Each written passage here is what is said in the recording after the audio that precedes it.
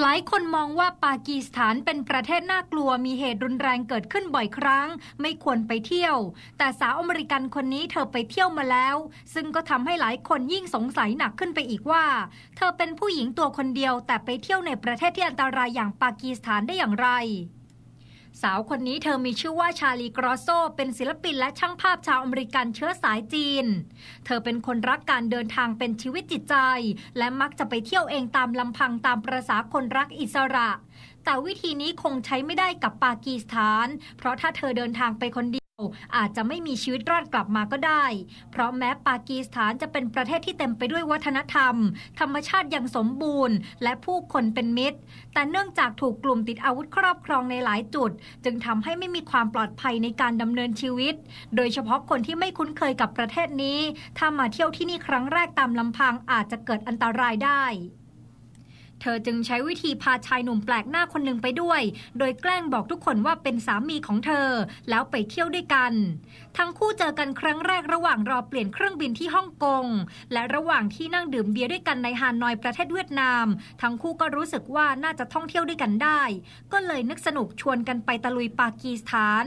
แต่พวกเขาคิดว่าควรจะแกล้งเป็นสามีภรรยากัน เพื่อไม่ให้เป็นจุดสนใจ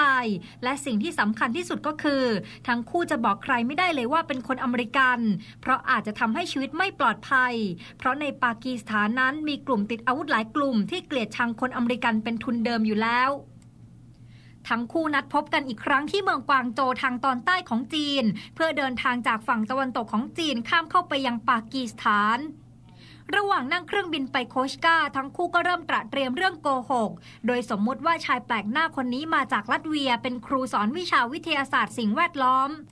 ส่วนตัวเธอเองก็แกล้งบอกใครต่อใครว่าเป็นคนตุรกี ซึ่งมีความเป็นเอเชียอยู่ เธอไม่อยากบอกว่าตัวเองเป็นคนจีน เพราะความสัมพันธ์ระหว่างปากีสถานและจีนไม่ค่อยดีนัก และเธอก็โกหกว่าทำงานเป็นเลขาให้กับแพทย์ไร้พรมแดนทั้งคู่พบรักกันเมื่อ 5 ปีก่อนและปัจจุบันอาศัยอยู่ที่ลัตเวีย แถมยังมีลูกด้วยกันหนึ่งคนชื่อมาโค โกหกกันซะเป็นเรื่องเป็นราวเลยทีเดียว ระหว่างการท่องเที่ยวทั้งคู่เดินทางกันอย่างรีบเร่งไม่พักอยู่ที่ใดที่หนึ่งนานๆ เพราะกังวลเรื่องความปลอดภัย การลักพาตัวและการเรียกค่าไทย และเมื่อเดินทางเข้าถึงปากีสถาน สามีปลอมของเธอก็ถูกหน่วยข่าวกรองปากีสถานเรียกไปสอบถาม เพราะกลัวว่าเขาจะเป็นเจ้าหน้าที่ CIA แต่ทั้งคู่ก็ผ่านมาได้และเดินทางต่อ โดยระหว่างการเดินทางทั้งคู่ก็เปลี่ยนตัวตนไปเรื่อยๆ มีบางครั้งที่ทั้งคู่โกหกว่าเป็นชาวแคนาดา ยกเว้นตอนที่ต้องแสดงหนังสือเดินทางกับเจ้าหน้าที่ แม้เดินทางด้วยกันในฐานะสามีภรรยา แต่ทั้งคู่ก็นอนกันคนละห้องทุกคืน มีอยู่ครั้งหนึ่งทั้งคู่อยากจะตั้งแคมป์นอนใต้แสงดาว แต่คนนำทางปฏิเสธ เพราะเกรงว่าจะเกิดอันตราย แต่สุดท้ายคนนำทางก็ทนคำรบเร้าของทั้งคู่ไม่ไหว แม้ว่าตลอดการเดินทางสองสัปดาห์ทั้งคู่จะรู้สึกหวั่นกลัวเรื่องความไม่ปลอดภัย และค่อนข้างเครียดที่ต้องคอยโกหกเรื่องสถานะของตัวเอง แต่ทั้งคู่ก็เดินทางโดยสวัสดิภาพ จนกระทั่งแยกจากกันที่สนามบินเจดด้าของซาอุดีอาระเบียทุกวันนี้ทั้งคู่ยังคงส่งข้อความหากันเป็นระยะระยะ เพราะการปลอมตัวเป็นสามีภรรยาและร่วมทุกร่วมกันในการท่องเที่ยวสุดระทึกที่ปากีสถานทำให้ทั้งคู่ผูกพันและกลายเป็นมิตรที่ดีต่อกัน หลังจากเดินทางเสร็จสิ้นแล้ว สาวคนนี้เธอยังแปลกใจตัวเองว่า กล้าเดินทางไปประเทศอันตรายอย่างปากีสถาน พร้อมกับหนุ่มแปลกหน้าที่เพิ่งรู้จักกันไม่กี่วันได้อย่างไร